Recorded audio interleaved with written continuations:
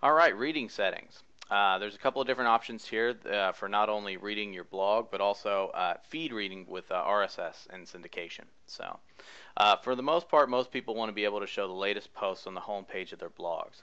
But for some smaller blogs or some people that maybe want to show the same information to everyone who first enters the site maybe want to display a static page and that's a single page of your choosing.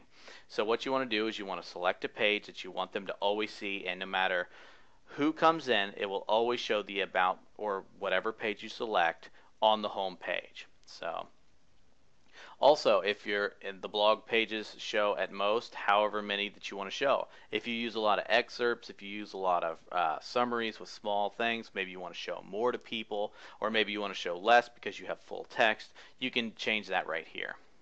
Also, the syndication feeds show the most recent.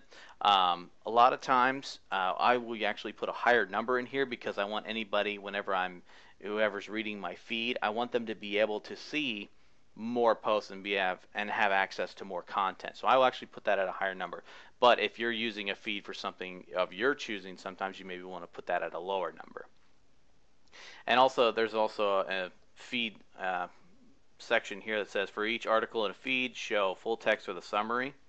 If you select the summary, it will first choose the excerpt, and that's where the excerpt comes into play in this instance uh, for every for your blog posting. So if you're choosing and writing an excerpt, and whenever a feed is displayed, it will actually pull from that excerpt.